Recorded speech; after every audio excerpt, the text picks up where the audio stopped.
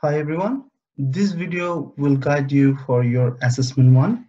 So I would like to go through our Moodle website and this will show you that how to get your instructions and submission links for your assessment one as well. So this is what that we have on our Moodle site. So following the Moodle site, you will see the assessment tab where you will have all the information regarding your assessment one, two, and three. So following this tab, um, I'm going through this assessment one links, but before that, just for your information that assessment links are also indicating your deadlines. So this video will guide you for assessment one only, but other links will be for assessment two and assessment three. So first thing will be looking at the guideline and given instructions through this page. So assessment one comes with your 25% overall mark. So it is weighted as 25%. And this is a presentation assignment where you have to uh, present an assignment on the basis of some given instructions. I would like to go through these instructions uh, very quickly to give you a quick briefing about the preparations. Um, so this assignment will take place over week 4 to week 12. So as you have received some information in your tutorials by the time that which tutorial or week that you are getting for your assessment presentation. So according to that, it has its weekly topic and according to your selected weekly topic, you will be presenting your assignments. So the purpose of this assignment is to understand and know how to search academic journals and literature. So I assume that you understand the concept of academic literature, that what do we mean by that, and I assume that you understand that how and where to collect those assign, I mean, journal articles. And according to that, we consider the purpose of this assignment will be enhance and develop your oral communication and presentation skills. So one part of that assignment is asking you for searching an academic journal as well as another part of that assignment will be how to present that assignment in front of your audience, which will be your tutorial mates, and to explain the uh, particular selected article um, to them to understand that how things are coming from the research side in our weekly topic. So the weekly topic that you can pick up will be according to this list and this list is actually similar to our lecture uh, topic as well. So the intention of this assignment is to select academic journal and to link it with our lecture topic and to understand that how things are taking place uh, in the research world and what is um, similar to our lecture topic and how things can be learned uh, by those research studies as well. So for the on-campus students, they will have the in-class or in tutorial presentation. But for the distance students, I would like to say they don't have um, that option to come and present their presentation. So that's why for the distance students, I would like to say that please um, note it down that you have to record your presentation within your PowerPoint slides. And before you select your week, please drop a mail to me that which week that you are planning to um, prepare your assignments. And on the basis of that, I will, I will try to give you a feedback as well as this video recording will gu guide you to have the preparation that how to prepare those lecture slides with your voiceover. So in PowerPoint slides, you have the recording option where you have to um, record your voice over the PowerPoint slides and you have to submit as well as uh, need to send me the same recorded PowerPoint slides over the mail to me. So please um, um, drop a mail that which week that you like to have your presentations. You have the options from week 4 to 12 and according to that um, choice, I'll be waiting for your mail to receive your PowerPoint uh, recorded PowerPoint slides. For the on-campus students, they are supposed to have their presentation in tutorials, and um, this is what that we are settling down this week as well as by week uh, three to start our presentations from week four to week 12. Now, the reason that we are considering um, a particular article is um, or searching a particular literature or academic literature is to ensure that you know how to search good journal articles. Now, while I'm saying good, there must be some standards to measure that good or uh, better journals. So a quick advice could be um, if you if you download an ABDC journal ranking files, if you just put uh, and Google ABDC journal ranking, you will find several files and you can see how uh, Australian I will show it over here very quickly to understand that what I'm talking about. I'm just writing ABDC um, journal ranking list or Excel. So this is something uh, that will give you the website for Australian Business Deans Council and they have um, the ranking list and according to that we can understand that what are those good journals that we can see and look into. So the, just download any folder from here and see how those journals are ranked there. So you will find A star, A, B, C uh, journals and whatever that you work for your assignments should be looked into the journal article, I mean the journal list, that whether that is listed or not. So we will prefer A star journals, so that will be our preference, but uh, it's up to you that how you would like to collect the particular uh, source of journals.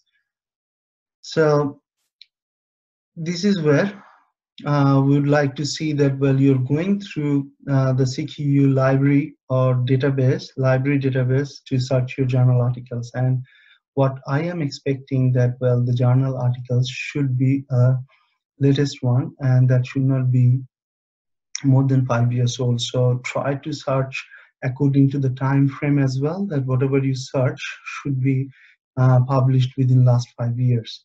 So it's up to you that which week that you want to select and according to that selected week, search your articles. Say for example, if you if you like to have a presentation on week eight, um, then perhaps you should search something related to management or performance or performance management HRM. Not necessarily that you have to search it with the given names here, but you can go to the chapter to see and understand that what are those things that is uh, related to performance management. And on the basis of that, uh, through the library search engine, you can get your um, selected article. Now, while you will be selecting your articles, as mentioned, please check it out that whether your article is a good article for us or not. As long as it is listed, it has ABDC rank, uh, we'll be uh, we'll be happy to um, uh, accept that uh, article for your assessment one.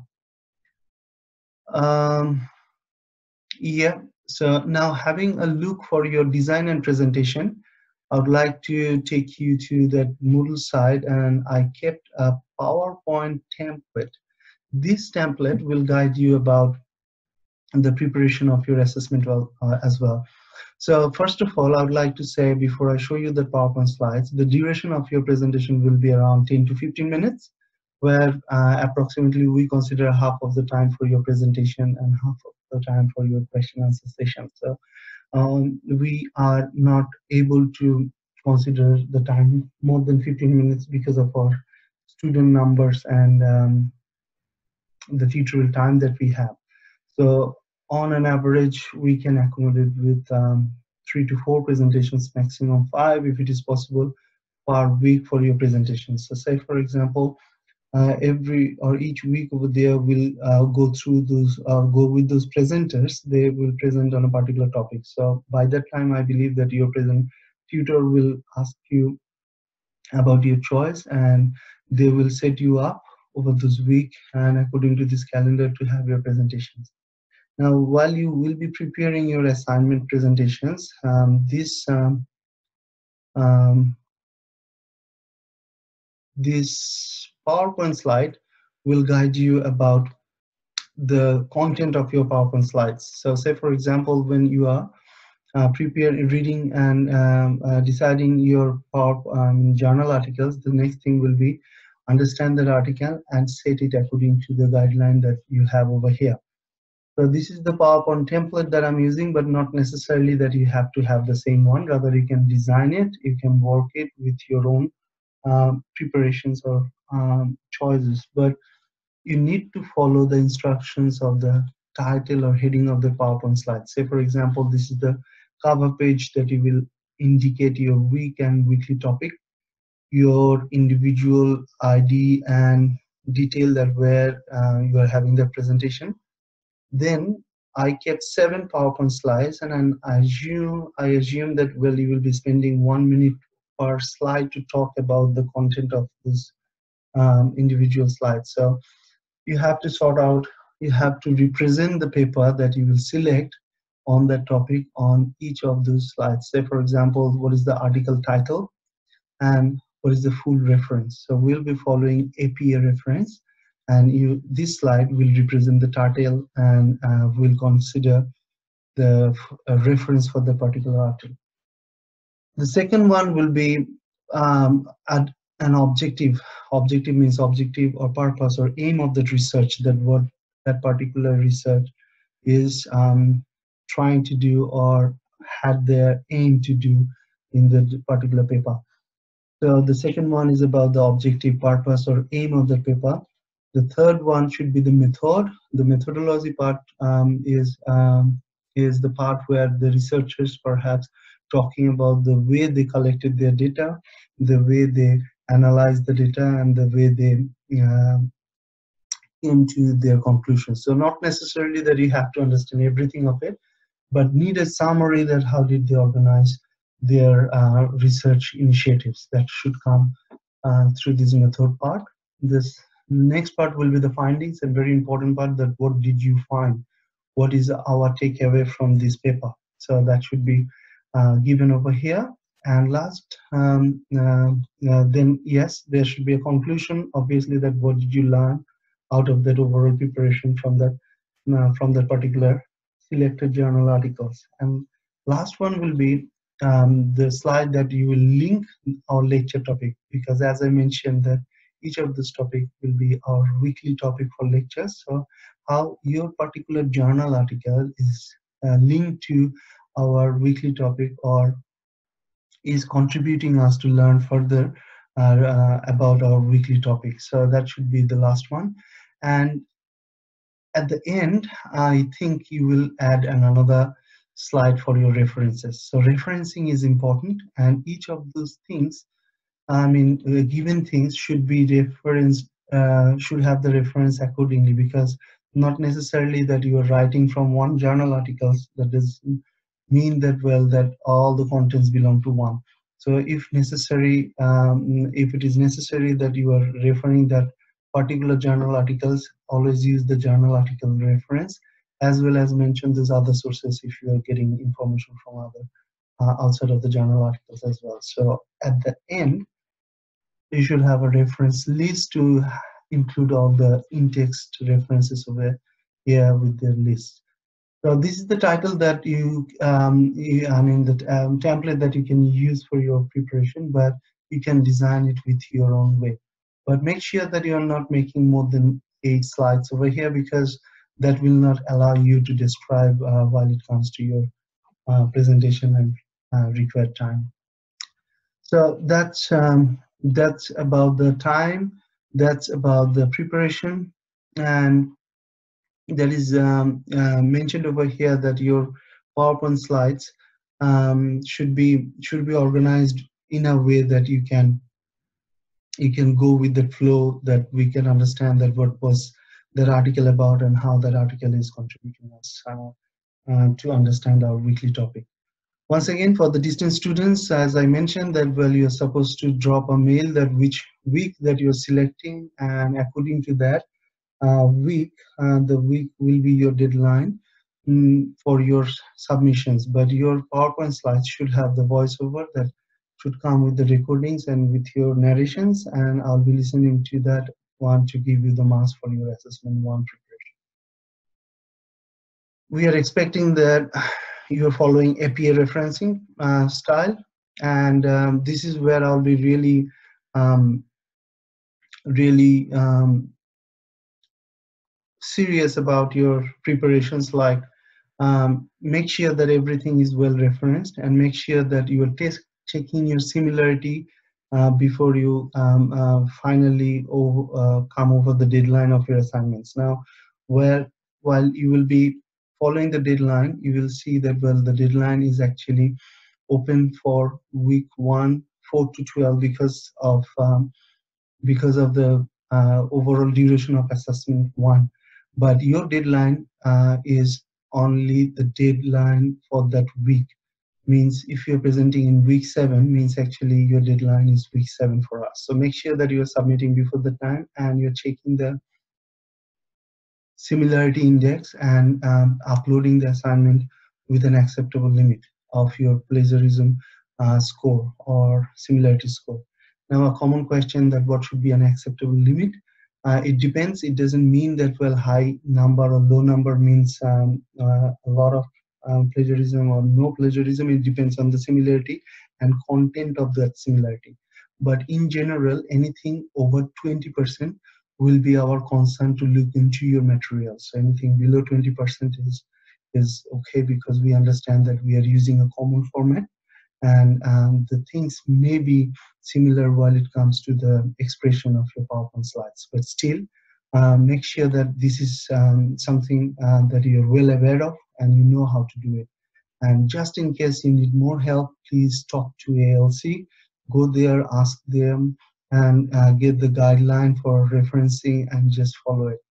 And it's not that difficult that you cannot do it um, by your own. Just in case you need the link, this is the link if it is APA referencing. Uh, if you're Googling it, uh, you will get the file and you will know how to um, put in text as well as um, prepare the reference list as well. So that will help you to uh, get out of this plagiarism issue from um, from uh, this uh, for this assignment. Now, last but not least, this um, this piece of paper is very important for you to understand that where your marks marks are waiting for you, and how things will be um, considered when it comes to uh, your overall um, grades. So for this assignment, it is a 25% assignment, uh, and that 20%, 25% uh, is actually distributed with these sections. So your marker will be marking you according to this marking rubric. And if you are uh, thinking that where I can um, grab the maximum marks, so you can go through that and you can understand that well where you are uh, lacking your preparations and where you can get maximum marks for your presentations. Now, very quickly, 5% uh, marks for referencing, which, which I think is the easiest percentage to collect because if you have proper referencing, you'll get the full 5% marks aim and um, uh, research aim and question means the second slides that we had like um, this one the objective or aim of your research then method uh, then findings article conclusions and contribution to the topic according to the sequence that we had and um, major marks is waiting for your preparation uh, i mean quality of your presentation as well and visual aids is um, is all about your PowerPoint slides that you're preparing for the presentations. Now, while it comes to visual aids, I would like to say make sure that your PowerPoint slides are clean. Make sure that you have all the references and all time you should have a list of references and um, it should not be very wordy in terms of putting everything on your PowerPoint slides and it should be a clean and uh, um, um, audience friendly PowerPoint because you will be giving them the briefing about those things that you will have in your PowerPoint slides. So not necessarily that you have to have everything on your PowerPoint slides. So this is how you will be um, you will be getting the instruction and marks for this assignment. Now last thing will be um, uh, checking the submission link. So before you have go for your presentations, your uh, tutor will expect that you will be going through this link and upload your assignment over here. So when you will be uploading your assignments, your assignments will be uploaded according to that assignment, uh, I mean assessment pre uh, assignment presentation and uploaded PowerPoint slides, you will be receiving your marks through that link. So that's how your assessment one will take its um, assignments from week 4 to week 12.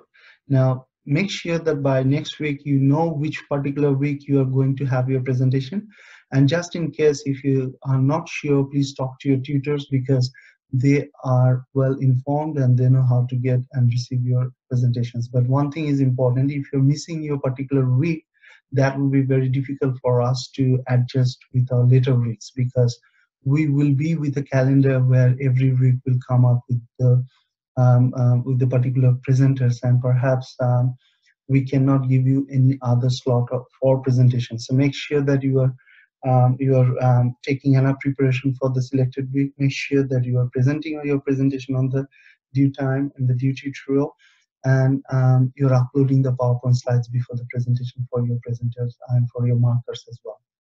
And for the question answer sessions, I'm, I, I must say that, well, I understand that not all of you are very comfortable with presentations, but it's all about the learning that we need to go through because if you're comfortable with presenting some research materials, if you're comfortable to go through those question answer sessions, means actually um, that will in uh, develop your presentation skills for the future purposes. So take it as your uh, learning and opportunity that well you will get an audience and I hope that audience will be well connected and well engaged with your presentation and will ask you good questions to understand that how your things are linked with our uh, lecture materials. So that much I had in my mind for sharing the instructions uh, for assessment one. So next video will uh, uh, will be there for your assessment two and please talk to your tutor if you need further clarifications. So good luck and I'll get back to you with another video for other assessments. Thank you.